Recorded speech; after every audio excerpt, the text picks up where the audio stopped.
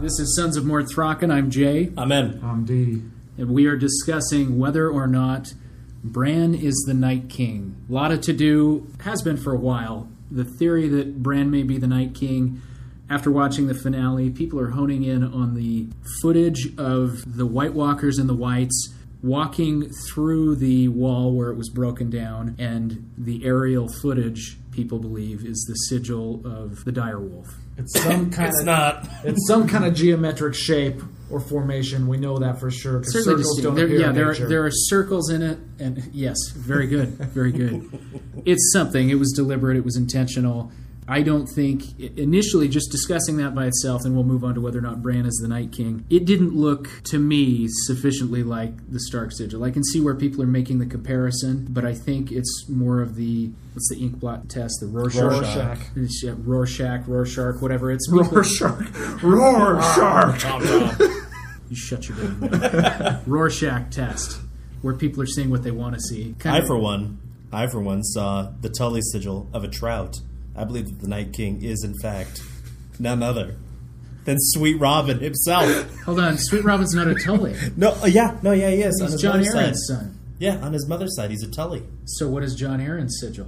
Uh, I, I don't know. Oh, oh, it's a, it's a bird. It's a bird. Yeah. Did you It's see? a, it's a Rorschach. Yeah, it's a Rorschach. shark. didn't, No. Did you see a bird?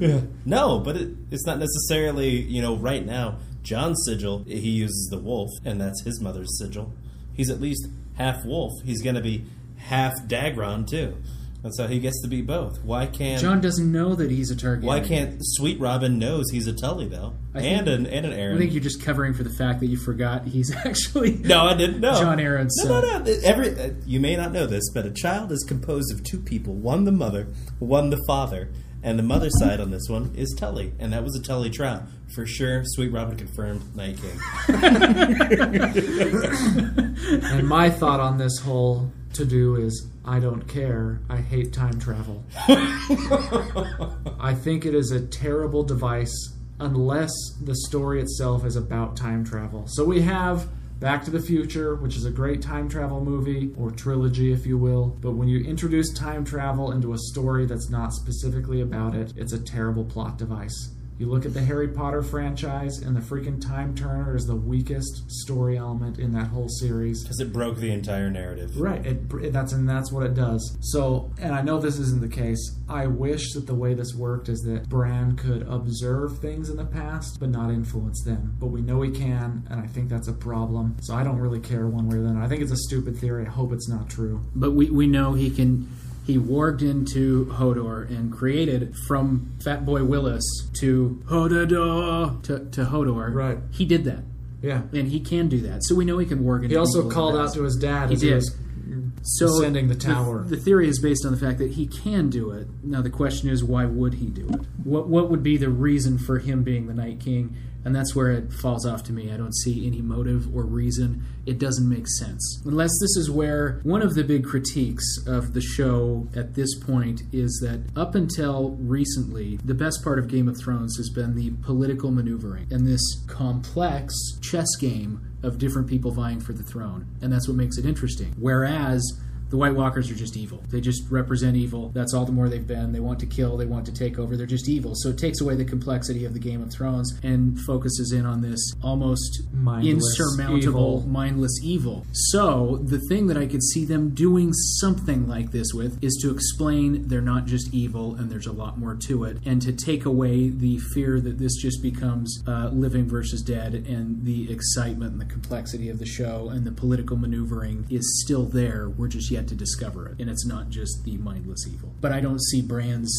Re- I, I guess I, I can't tell what would the White Walkers want that Bran would become part of that group or lead that group or come down south. So take me through what this theory actually means, or the Bran is born, because in the present Bran is crippled.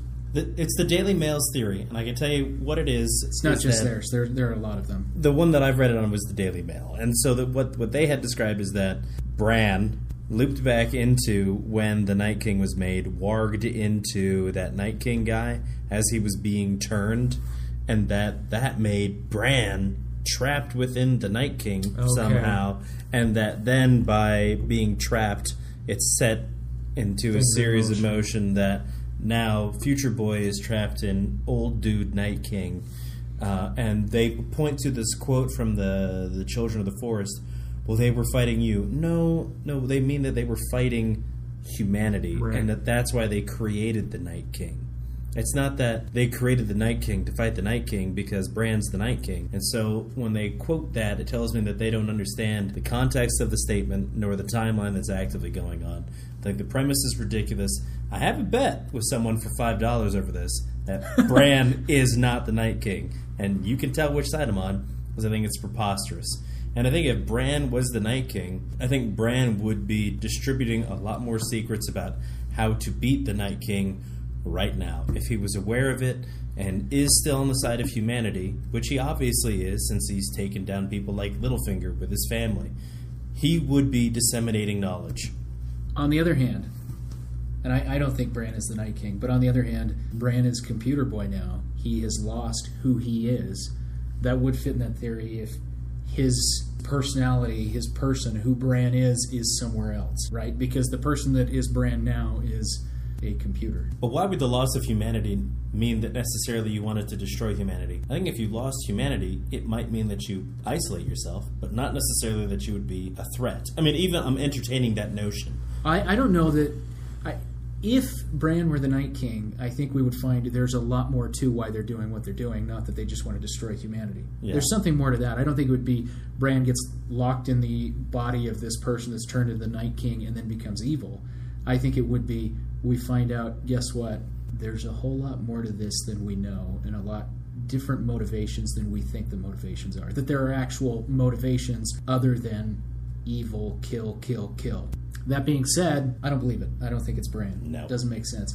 I do think my my prediction about the Night King and the White Walkers is that there is something deeper than what we're seeing on the surface, and they're not just pure evil.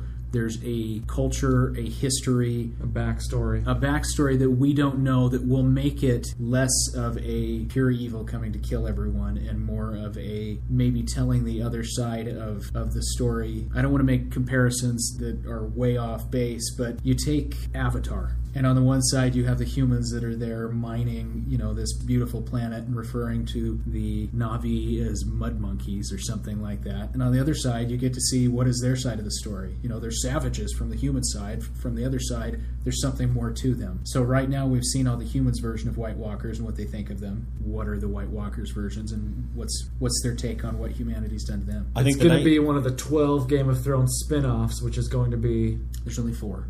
Well, wildly whatever. profitable. Yeah. I can tell you what the Night King's motives are. I can tell you. The Night King is going to go to the Vale of Arryn. He's going to resurrect Lysa Arryn and suck on that titty just one more time because the Night King is, in fact, Sweet Robin. And, and now we can turn that milk into ice cream. oh, yeah. Froyo. D, last got- thoughts. No, I can't follow that. I'm going to just. So it's all.